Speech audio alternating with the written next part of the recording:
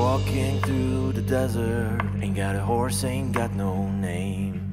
With three dimes in my pocket and a heart full of pain.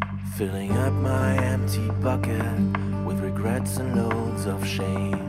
Settle down in the snake pit. Η Στέλλα άλλαξε σίγουρα παρέα και πήγε με τους υπόλοιπους ε, για να κοιτάξει και αυτή το συμφέρον της.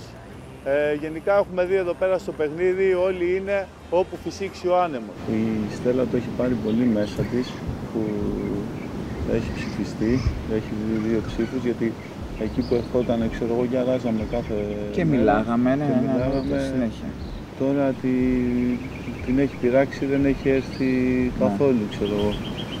Ε, Ίσα ίσα που έχει φύγει και έχει πάει και αλλάζει συνέχεια με Ηλία Σταυρούλα Και Μάριο. και Μάριο. Εγώ θέλω να δω τι θα γίνει στο ατομικό.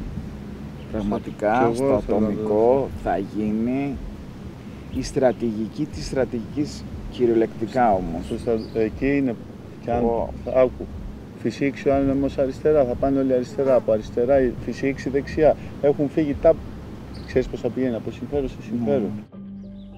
Tables have turned, bridges are burned. I wanted to keep you safe, but all I touch goes up. Φεύγουμε για το Συμβούλιο, θα πάμε να ψηφίσουμε τώρα. Εύχομαι ό,τι είναι να γίνει, να γίνει το- για το καλό της πλειομάδας και όχι για το ατομικό συμφέρον κανενός.